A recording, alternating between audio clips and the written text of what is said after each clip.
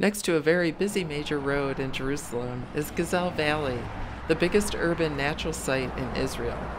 Here roam the endangered mountain gazelle, migratory birds, and reptiles among the hustle and bustle of the oldest city in the world.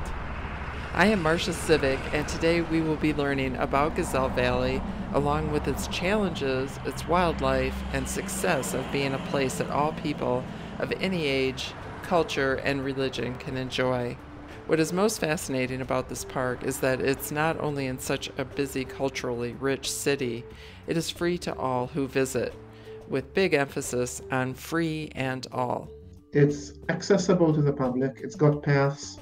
Some of the paths are wheelchair accessible. It means, if you take what I said before, free entrance to the Gazelle Valley, 364 days a year, and all the other things. This means that a grandmother in a wheelchair who comes from a social economic relatively low background mm-hmm. can still get on a bus to a relatively central area in Jerusalem, get off the bus with her wheelchair and roll herself into I don't know I don't know why I chose a grandmother, but anyway, you know anyone, anyone, yeah. basically anyone, yeah.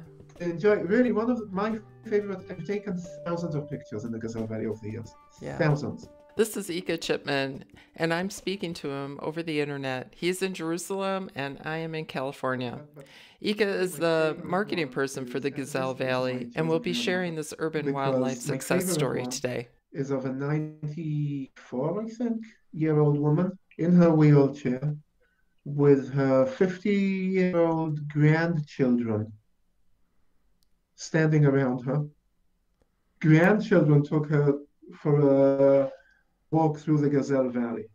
That's wonderful. Um, so what we're actually getting here is an opportunity for the public to see nature in a way that is very accessible.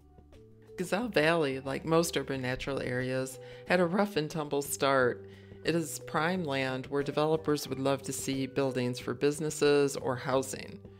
It wasn't until an unlikely group of neighbors started to work together and defend the land that the natural value of Gazelle Valley was actually discovered. This area, it's a, it's a small valley that until the early 90s was physically connected with the hills outside of Jerusalem. Mm-hmm. So naturally, any land-based animal could move from the valley to anywhere else out in the wild, and population could could could combine they could run away if they wanted to run away from a jackal. They could mate with um, a male or a female from a different part of the Jerusalem hills.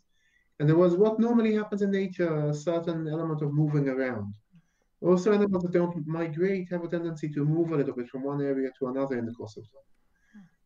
And that basically ended the southern Jerusalem got, got used for a football stadium, a soccer stadium, I should say, in American, a new mall, a pretty big new road, and all this to have blocked off what is now called the Gazelle Valley from what was then just a valley that kind of slid into the end of the edge of Jerusalem.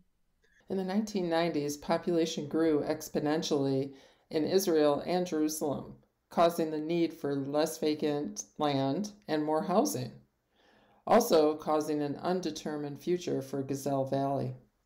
In the previous 30, 40 years, the place was, how do you say, rented out really long term. When you rent something out for 30 years, the place was rented rented out to a few kibbutzim, a few small small villages that uh, used the valley for very simple agriculture. They grew uh, peaches and plums and which became not very financially viable in the late uh, 80s, early 90s, as worldwide transportation became much more common and much, much cheaper. So there was no point in continuing to raise such a small agricultural project. So they wanted to build on the area again, at the time, nobody would really check. Nobody really looked even what was being asked for, what the permit was that was being. Permits were given They could build basically anything. They were a the late 90s, they actually started working. They actually, there was a tractor that started working, straightening out the ground. And people from the neighborhood around and physically stopped the tractor. Now, again, I've got to stop a second. We're used to thinking, I'll be not very politically correct. That's the way we are Israelis, and that's the way I am personally.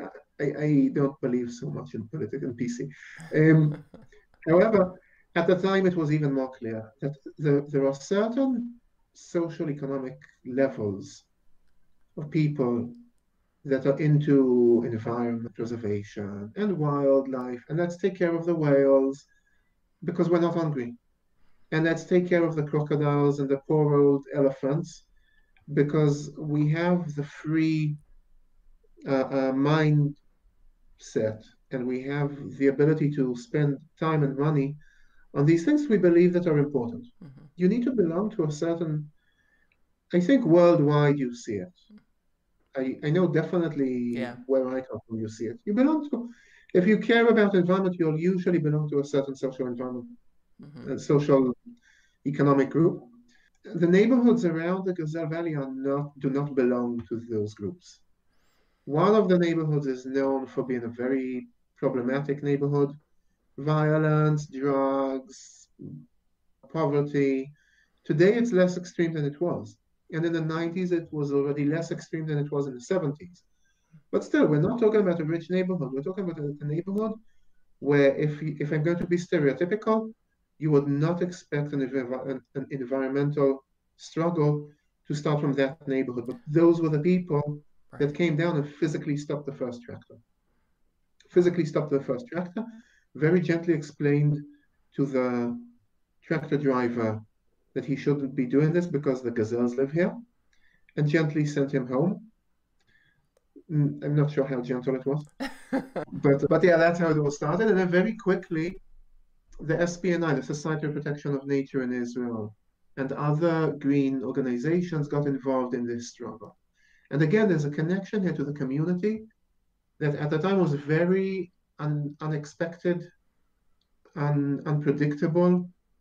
No one would no, no one would have expected something like that to happen. But the connection happened anyway. And then what happened was a struggle that was legal and public at the same time. A legal struggle because the kibbutzim that were allowed to use the land for agriculture actually was supposed to end the use of the land in the mid 80s, but nobody was following. In other words, government offices and municipalities were not doing their job. That's on the one hand. On the other hand, the public struggle. The public struggle means that this basically unused piece of land, it was unused because, as I said, the kibbutzim stopped spending money on, on agriculture mm-hmm. on the one hand. On the other hand, it's in the middle of the city, so people walk past, people use it as a shortcut. Everybody knows there are a few gazelles there. Some people continue to call the valley by the name Emek Prihar, the Prihar Valley, which was the name of the company that oh, okay. grew, that, that did the agriculture there. And other people started to call it the Gazelle Valley. And the name was very important because if you're going to try to struggle and you're going to try to protect a piece of 50 acres with prickles, a few olive trees, mm-hmm. and some mud, chances are you're going to fail. But if it's the Gazelle Valley, then you know it's about branding. During this time, what happened to the gazelle? Were they still thriving and living on this land?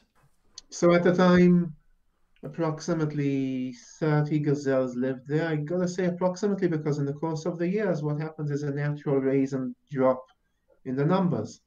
Okay, around springtime is when the females give birth, usually to one baby a year. Okay. And in the course all year round, you've got someone dying, someone gets old, someone gets run over.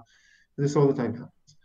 So the numbers were going up and down between 25 and 35 from the early 90s till the early 2000s. Okay. In that time, professors and doctors in famous universities wrote articles about how a cut off population of gazelles in the middle of the city, 30 gazelles are not going to survive. And the main conclusion from these articles was that gazelles don't know how to read because they survived. Right. so even though they're interbreeding, probably right, because there's they no... were interbreeding. Okay. That's all they could do at the time. Okay. They survived anyway for about a decade. Around, around to make a very long story very short, in the year 2010, court ruled that the kibbutzim do not have any more rights on the land, and that it should be uh, public, public land. In Mhm. Israel, a lot of the land is public. Even if houses are private houses are built on public land, in some cases, you're basically renting very long term. You're renting you're you're renting the land from the state, from the from, from the state for 50 years, for 100 years, for 99 years, and you build a house. Mhm. A lot of the land in Israel is public. And so the, the Gazelle Valley went ba- back to the hands of the public. And then what started was even more interesting because it was a, a ping pong between the SPNI Center Protection of Nature in Israel and the, the people that started the struggle and the public that lives around the valley, who different people have different interests, you know. Mhm. Um, so there was a- an interesting ping pong that basically started with saying, what do you, the public, want to have on this land? Do you want a shopping center? Do you want a park? Do you want, there were a few possibilities thrown out. Mhm. And the option that was happily taken by the public with gigantic majority was that the place should stay as a green lung. Mm. Not yet. The phrase urban wildlife site was used by some people, not used by others, it was that, that's what the public basically said that they want. That's The, the, the neighbors of the, of the park. So the public decided to have a green area. And so who who's involved with the planning and how was the park developed? The public was involved in planning, in the not in the very nitty-gritty details, mm-hmm. but in the very general outline. And then the the part the, the the 50 acres got divided into three unequal parts. One part is the the natural core into which hu- visitors are not supposed to enter at all Mhm. and human beings are not supposed to enter. That's on the one hand. The second part is a very intensive area, parking lot, the entrance building, bathrooms, stuff like that. Okay. And in the middle, between the very intensive area and the natural core, you've got an area that is natural on the one hand. It's, it looks like any any it, it looks like any any other location in the Jerusalem hills. So now you have this green space in the middle of the city. What what challenges do you face or what challenges do the gazelle and humans face? Somebody that worked for the kibbutzim used to come and release hounds, hunting dogs, Oh. in Gazelle Valley. A dog will almost never be able to catch up with a gazelle. They run pretty much at the same speed, but if the dog chases a gazelle to the road, the gazelle is going to get run over. And pretty quickly, the population weaned from about 30 gazelles in 2005, 6, 7 to three females in 2012. Wow. So They was the purpose to was the purpose of these dogs were people hunting, trying to His hunt purpose, yeah, his Oh, purpose okay. was to get rid of the gazelles, Oh, okay. and then you got rid of the branding. There are no gazelles in the Gazelle Valley. If there are no gazelles in the Gazelle Valley, then why can't we build it? Let's build. Yeah. Because as long as court didn't rule that that the, that the valley goes back to the public, then there was still a chance to say, listen, there's no gazelles there, they're all lying. Yeah. Um, Wow. So you you ended up with three females basically. Three So females. so how did the population start to grow again? and Did get you? back to 60, 70 that we have now. Yeah. So did you have to bring? I'll give you three guesses, and if you know basic biology, I think you'll figure it out. Uh, look, the first thing we needed to do was to fence off the, the valley. Okay. So the gazelles could, could continue to run away. There were no dogs released. There was no entrance to the valley for about three years. Okay. So the fence was the first move, and the second move was in the course of, I'd say, from 2012 till 2017, 18, we brought in ma gazelles, not only males, m more males than females. hmm In 2012, we brought a young male who looked around, saw three females, didn't understand what he's supposed to do. Poor guy. Yeah. Later on, you know, you let nature do its course, Yeah. you figured it out.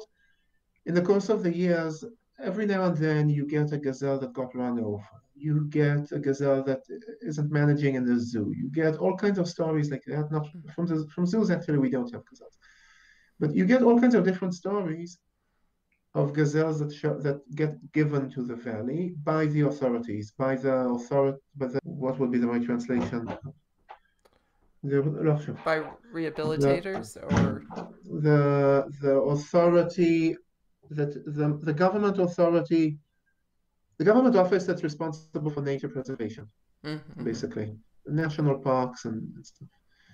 Uh, one of their responsibilities is also enforce law enforcement in the field of wildlife. And one of the elements is that it is illegal in Israel to raise a wild animal at home Mhm. or, or in your private garden. It's the same thing. Yeah. You you're not allowed to raise a tiger, a gazelle, or a turtle or a lizard in a box. Oh wow. In a Israel, lizard, yeah. There's there's a, there's a very limited list of of you know animals that belong in nature in Israel. It is illegal to raise at home. That's Doesn't it. matter if we're talking about a scorpion or about a, a bear. We don't have bears, but you know, going for the biggest thing I can think of. Yeah. So uh, now, like any law, also this law gets um, ignored sometimes, hmm and it is the National Parks Authority, it's their responsibility to enforce the law. Every now and then, you run into a family that is raising a gazelle in their backyard. hmm It doesn't happen so much. Uh, I don't want to sound racist, so I won't say who, but it, it happens in, you see it in certain populations more than others. The female that I mentioned before that attacked somebody, Oh yeah, I wanted to hear that story. she Yeah. thought that she's a dog, basically. Yeah. Yeah. She got raised in the in, in some family's backyard. She got confiscated from the backyard and brought to the Gazelle Valley, and she always thought she's a dog. She, when it was cold, she would come to the entrance building and pop it with her nose and ask to be let in. I've got a hilarious picture. You see her face. We call her Johanna. You see her face, and you see kind of there's kind of a glass window. So you see how she blew against the window because she wanted to get in, Yeah. and how she created kind of a haze on the window. From her breath. Um, yeah. She, yeah, she used to look for human attention. And how do how do you look for human attention? You come and rub your head against a human being. Right. That's what she learned. She would do that where she was raised, so she would get attention. She preference for uh, men of a certain age and up. hmm I don't know what. The smell, I don't know what it is. Something reminded her of home. That's who she preferred. And when and when people wouldn't, it's not only, it's there was a general tendency. She, there was a guy that worked, he was 20 something, he was in his early 20s, Yeah. and she would not leave him alone. Now she would try to climb him with her hooves. Oh, that could that could hurt. Yeah. It didn't, that could be pretty painful. Yeah. Uh, so yeah, so she would try to look for attention. Once she was in heat, and when she was pregnant, then again, nature did its course. She stayed away from human beings, and as soon as she was pregnant anymore, she went back to her more humanish kind of behaviors. Interesting. It was very funny to watch her in the course of the years. She donated, she donated, she contributed, if I'm not mistaken, four gazelles, three females and one male, if I'm not mistaken, Wow. Wow. to the pack, to the to the herd. Heard. We are right now already releasing gazelles to nature, Oh, okay.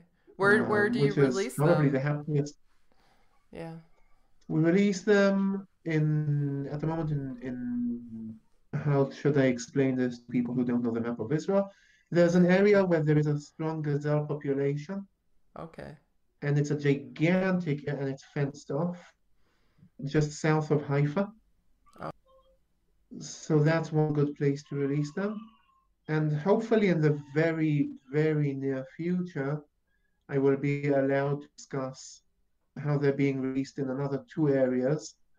But at the moment, due to uh, in organizational politics, hmm uh, I am expected to not uh, discuss these new two areas. The story of Gazelle Valley seems to be a successful urban wildlife story. That makes Um, sense. it's important to say, it's important to tell as a part of the story, the Jerusalem municipality understood the potential of the Gazelle Valley. And the municipality is who in the end said, okay, if there's going to be a Gazelle Valley here, then we're going to spend this and this much money on the development, on the initial development, and about 10% of that every year on the maintenance. We're talking about less than. 2 million shekels a year. But that's that that's it shows municipalities that main, maintaining a, an urban wildlife site is not a very expensive story hmm because you lay nature on its course. Now, look, we didn't plant so many trees. We brought in injured gazelles from other places in Israel, and we enabled things to start happening. Okay, Mhm. and all of a sudden, there's an uh, and one more important thing: the physical development includes development for humans to be able to enjoy a place, and it includes development of the natural habitat, but development in such a way that it stays the same as what would be normal for the Jerusalem hills. hmm So for example, there's an artificial pond about 10 acres big, 30 dunam. I got the big. numbers a bit wrong. 30 dunam is about 8 acres, Yeah. 7, 8 acres. An artificial pond with a few smaller pools leading down towards it. And that's an attraction for, for migrating birds. And then all of a sudden, you've got different endangered species of birds that migrate and spend the winter in Jerusalem, or that migrate and stop in Jerusalem. And we didn't used to see them in the past, That's or we saw them in the past and we saw them less and less and less. And now that there's suddenly this attraction with the water, then they actually stop. You see growing numbers of them. So it's nice to talk about the gazelles and how, you know, we're saving, hopefully this is a part of saving them, Yeah. but it's not only gazelles. Right. It's um, a species of duck that I keep forgetting the English name. I can Google it later. Solel bitzot is in Hebrew, just for the recording. Yeah. I'll send you the name, Okay. the English name when we're done. I saw the picture Um, on on the website actually, or on one A of brownish kind of duck Mm-hmm. Yeah. with its wings out this way. Yeah. I don't. I don't Yeah. know the name either. Yeah. Yeah. Yeah. Yeah. I wanted to. uh, yeah. I wanted to talk about the different species that you do have in the Gazelle Valley, because I know there's birds, and you're working with turtles as well, right? Or Yes. uh, like so. But I'll let you continue. Uh, On, yeah. Yeah, so the turtles go back to the story of keeping your ears open Yeah. and listening to the team just like you listen to the public. So there was somebody on the on the team, this is what, already three years ago, Mm-hmm. four years ago, he was doing national service. Instead of going into the army, or instead of going into the army, he did national service. And he was volunteering at the valley on a daily basis. And suddenly he connected between his understanding that turtles are an endangered species, on the one hand. Actually, one should say tortoises, but Americans think that's a strange, a strange word. Yeah. These are land animals. Turtles are the ones that swim. That swim. Yeah. Um, I always get caught on that too. Sorry. Yeah. Yeah. Um, he called it there an endangered species. uh-huh. And that as kids, I mean, I as a kid, if I would go to the valley behind the neighborhood where I grew up, there was no such thing as not seeing a tortoise. Mm. There was no such thing. And now it's pretty rare to see them if you're on a walk outside. Oh, That's on the one hand. On the other hand, they're not such a difficult species to to take care of and to save. Sea turtles have a very high success rate in, in preservation projects. mhm. On the other hand, he also realized that there is not a single kindergarten that do that doesn't own its own private tortoise that lives in a box Yeah. and eats cabbage and cucumbers. So put one and one together. I don't know. I don't know how nobody did this before, but he put one and one together and he said, "Wait a minute. These tortoises are living in boxes. That's illegal. Yeah. They're eating cucumbers, which are not so good for them. It's like raising a child on nothing but chocolate. Oh, And the tortoises love it, Yeah. but it's not so good for them. They need to eat all kinds of different leaves, Yeah. um, and leaves, not fruit. Technically speaking, a cucumber is a fruit. You don't Right. put it in a fruit salad, but it's still a fruit. Um, yeah, like tomatoes. Yeah. Yeah. Yeah. The difference between knowledge and wisdom. To Yeah. Knowledge is you know that a tomato is a fruit. Wisdom is not to put it in fruit. so he put two to Omer two. is his name. Realize, Yeah. realize he put one and one together, and he realized, wait a minute, let's tell them that it's illegal. Let's tell them that it's an endangered species, and let's suggest that they bring their tortoises to the Gazelle Valley, where we will see how we take care of them. Mhm. The sad story is, no, the happy story is we thought we'd get 20, 30 tortoises. Within less than a month, we found ourselves with, I don't remember, 300, 350 tortoises. Oh my gosh. Yeah. Y- yeah, That's a lot. yeah, we planned. We, we built an enclosure that was, what, 10 meters long, 30 feet long by, by 15 feet wide. Yeah. And we were planning to keep them there, and we had a vet that was going to come and take a look at them and decide which ones of them will not be able to survive in nature, and we need to continue to keep take care of, and which ones of them can survive in nature, and which need some in between kind of thing. Mhm. Um, within less than a day, the enclosure was exploding. Yeah. We used the enclosure that we that were that we weren't using at the time for gazelles because when you get a gazelle that got injured in a car accident and it gets brought to the Gazelle Valley, then you put it in an enclosure and you let it get used to the new area and get used to the sound and see through a fence what the place looks like, Mhm. and only then you release it to the to the whole valley. The enclosure was free at the time. We filled it with tortoises. We found ourselves spending hours, hours, hours, hours those few weeks. We currently have a pretty large number. I'm not sure exactly how many. I don't want to just throw out numbers, but we have dozens of tortoises in the in the valley. We have about 15 in the original enclosure.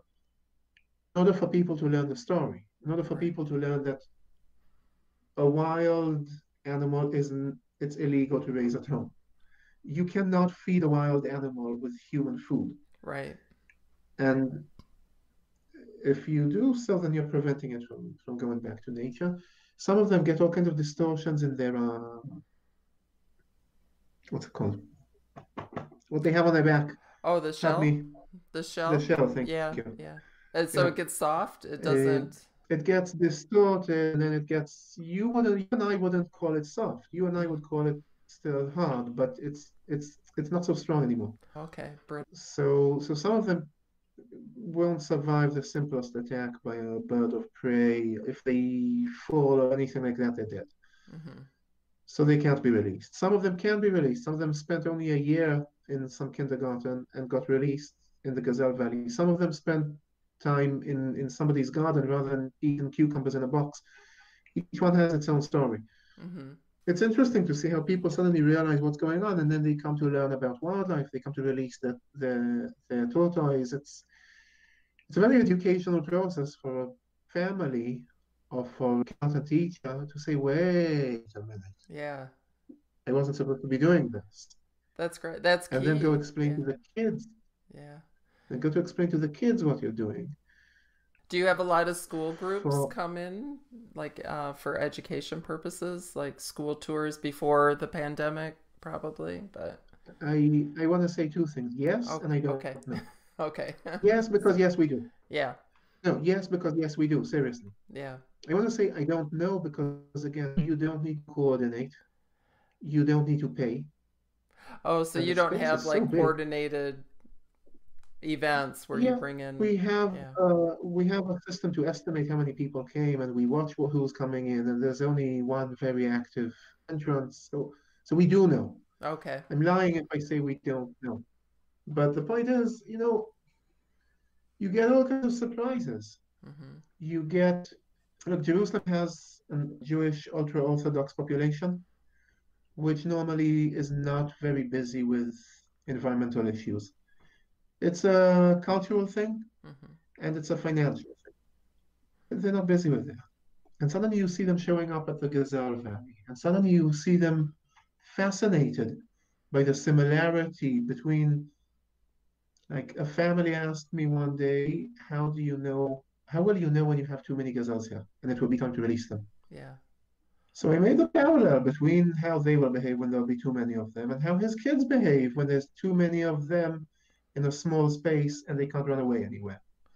yeah, It's it's mind-boggling for them to see the similarities between us as mammals and the gazelles as mammals. mhm, And suddenly you say, wait a minute, there's a whole world here that doesn't contradict our ultra-Orthodox way of life. We were just not aware of it. So suddenly you get more and more of the ultra-Orthodox uh, growing up in the park.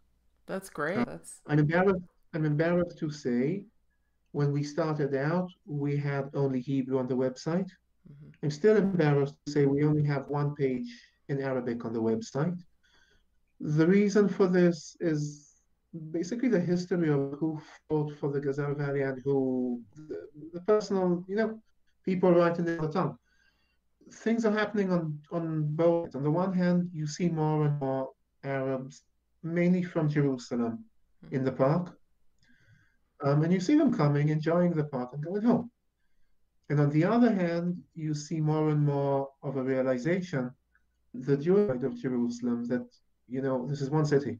hmm It behaves like two cities in some ways, but it, you see more and more of an understanding that there's got to be some kind of, That's true. um, Yeah, that's a great success. Jew. That's a that's a very Yeah, pleasant success to have. yeah, On the other hand, it's challenging because you know you get you get all responses. You get all responses, hmm uh, and and teaching people to. I think the real story here, and this goes back to where we started. We just had a meeting today because the park as a park reopened to the public in 2015, was closed from 2012. The court ruling that I mentioned before. Okay. till 2015 when the the infrastructure was ready. I lost my line of thought. So we were getting into, I think you were leading into the the visitor center conversation, I'm thinking. And with Visitor Center, the story is a story of nature, but it's a story of taking responsibility. hmm And that's one of the things that we would like people to take home. Yeah. And then that means, for example, do we allow people, if you're coming for a picnic in the Gazelle Valley, are you allowed, not asking what you personally would do, Mm. I think I can guess that, Mm. but are you allowed, do we allow you to use disposables if for a picnic in the park? Yeah. I don't not. know. Yeah. Yeah. Well, at the moment we allow, Oh, okay. and and we've, you know, if I mentioned before, the ultra-religious, ultra-religious Jews in Israel, gigantic, gigantic consumers of disposables. I mean, if you've got seven kids and you belong to a culture where you host So on Friday night, you'll have a family of nine come over for supper, and that's a normal Friday night. Yeah. You're not going to stand washing dishes after 18 people on a Friday night at the end of a week's work. You're going to buy disposables. Right. Add to that a religious element of not using a dishwasher on Saturday. There is no chance that there's a culture thing. And then, wait a minute, you're telling us what to do? Yeah. Are you going to tell me what to do? Oh, it, yeah. I mean, There's, yeah. you see where this is going. It's Yeah, yeah. because we find that when we ask people to not cross the yellow rope that separates between the area that's for the public and the natural core, when we use a language of a request, people cooperate. Yeah. But when you write that this is prohibited, everybody is going to cross the road. Right. If it's prohibited, you'll stay. People will cross the road. If it's please do not, then so it's all about using language. So if you want, so we want to teach people about responsibility, Mm-hmm. but then I mean, what are they taking responsibility for? How are they taking responsibility? We've got a compost, not a new compost that could be suitable for basically everybody in the neighbors all around Mm-hmm. to come and dump the compost stuff in the compost uh, uh, thing. A few of them scattered. Uh, So far, there aren't so many. What happens educationally to a family that uses that stops throwing everything to the same garbage pail and starts using a compost uh, bin? Mm-hmm. So, so education is a challenging thing. Yeah. So may, maybe we're succeeding so far with the gazelles. We're definitely succeeding with the tortoises. Mm-hmm. I believe we're succeeding with endangered species of, of migrating birds. We need to continue to work in order to succeed with teaching people to take responsibility. That Uh, that's a little longer. Yeah. Yeah. It's far more complicated, right. far, far more complicated. And it's not enough to just enjoy nature. If if what I want is to get people to take responsibility, I mean, I know people, I saw someone yesterday who definitely enjoys nature, Mm-hmm. and she just took an apple that she'd finished eating and threw it into the woods. Yeah. Now, true, it's organic, and true, somebody will eat it. There's wild boar there, there's birds, there's worms. Somebody's gonna eat it, but you don't do that with your garbage. Yeah. Um, Yeah, that's a that's a tough one because that's it's- it's ingrained in us for so long, you know, with people to just do that. You know, like you said with the disposables and, so yeah, and yeah, I mean it's it's gonna take a lot to for the human part of that to change, I think. the statement that stands behind the Gazelle Valley because getting to learn about gazelles, to be honest, isn't so interesting. Mm-hmm. I mean, who cares if it, if the horn goes like this or like that? Right, right. It's bringing the whole yeah the whole system together. Yeah, Yeah. it's about it's about making it relevant. And one of the ideas that we were discussing is to show who are these people hmm that struggled in the beginning. On the one hand, respect to the people who brought this to help, brought this to help. On one hand, hmm on the other hand, to show that the people like you and me. Like if you decide that you're going to fight for something you believe in and save something of nature, then then, then you can do it. hmm This wraps up this episode. I am Marcia Sivek with Be Provided Conservation Radio. Thank you, Ika Chipman, for sharing the successful urban wildlife story of the Gazelle Valley. And please visit www.gazellevalley.com, and there's a hyphen between gazelle and valley, so you can learn more about this beautiful place. Please also check out their YouTube channel to take a virtual tour of the area. You can also find more photos and similar podcasts at our site at www.beprovided.com. Until next time, stay safe and healthy.